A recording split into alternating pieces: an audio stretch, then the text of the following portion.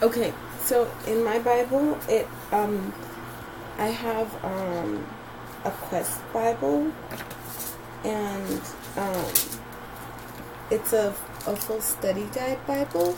So it has questions on the margins of the bi- of the of the pages to correspond with the chapters of the of what I'm reading and the verses.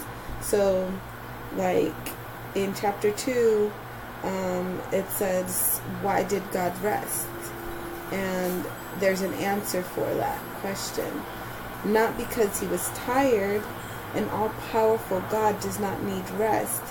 Perhaps he ceased working in order to mark a division between work of creation and his later ongoing work in the world.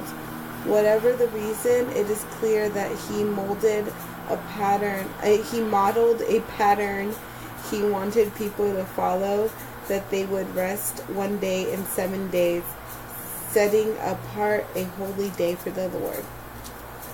So it has different answers. And one of the ones that I want to, to talk to you about was um, um, there's a question here, and it's a little bit longer. I, I don't know what they're called, but it's a question right here um, that um, God answer the Bible. This like the people who wrote this Quest Bible um, sought to answer it, and it's a lot of scholars.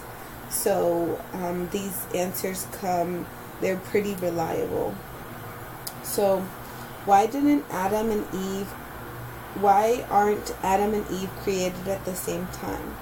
God Himself said it was not good for man to be alone. While the animals and other creatures had been created in pairs, the Lord allowed Adam to come to self realization that he needed fellowship, friendship, and intimacy from a creator corresponding to himself. Thus, God made him a helper.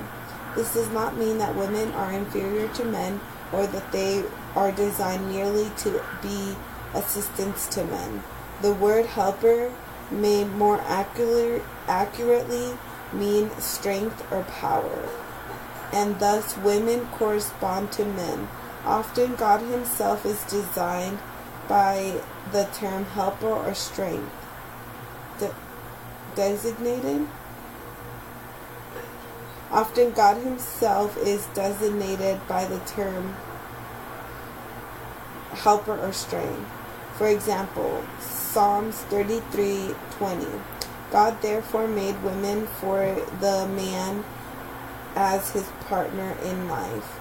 She was taken from one of the man's ribs, probably to show an interdependence.